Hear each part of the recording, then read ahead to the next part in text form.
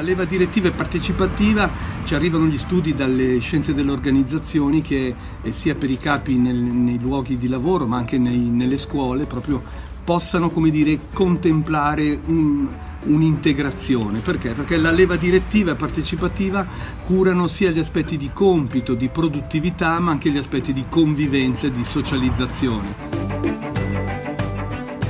Il direttivo è la leva classica diciamo, in cui l'insegnante prende delle decisioni in forma top down, come viene denominata. La partecipativa invece le decisioni dell'insegnante vengono, come dire, create dentro degli assi negoziali e di compartecipazione con la classe.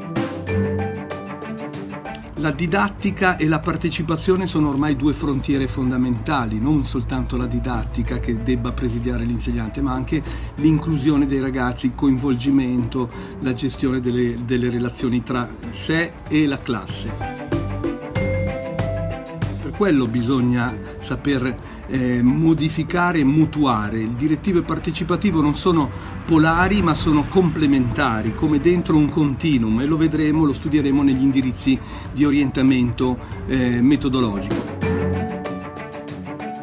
Ma il corso è anche pratico, per cui proverò a sviluppare il monitor di calibrazione, cioè quali sono i criteri per orientarsi una mattina una, in una lezione con una classe problematica, una volta su, di più sul direttivo, una volta più sul partecipativo.